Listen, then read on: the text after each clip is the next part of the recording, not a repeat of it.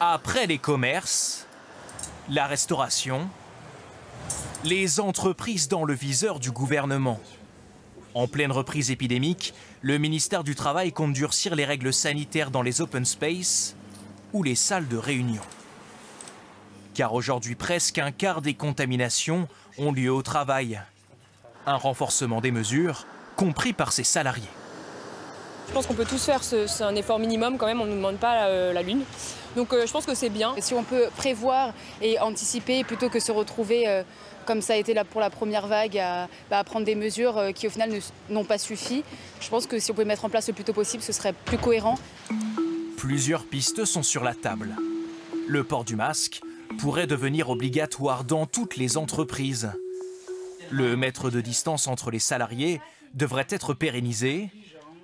L'usage du télétravail, lui, restera fortement recommandé à la rentrée.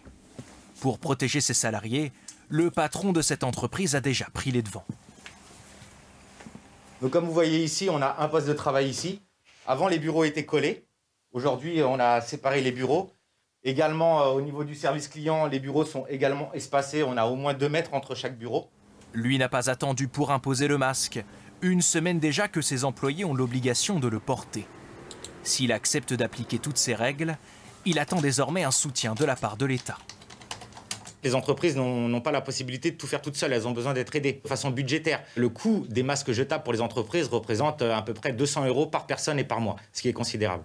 Mardi, une réunion au ministère du Travail est prévue avec les syndicats. Un nouveau protocole sanitaire pour les entreprises pourrait entrer en vigueur à la fin du mois d'août. Le rituel est le même tous les matins dans cette entreprise de jeux vidéo. Gel hydroalcoolique et masque obligatoire à l'entrée. Un masque qui doit aussi être porté dans les couloirs et en réunion. Cet employé le comprend même si c'est contraignant.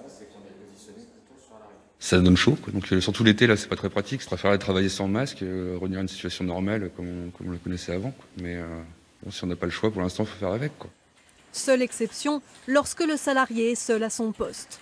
La direction a préféré anticiper les recommandations que fera le ministère du Travail aux entreprises demain pour la rentrée. À partir du moment où en fait euh, les mesures euh, Covid se sont accentuées, notamment dans les espaces publics, nous on a décidé en fait de les appliquer aussi euh, dans l'entreprise.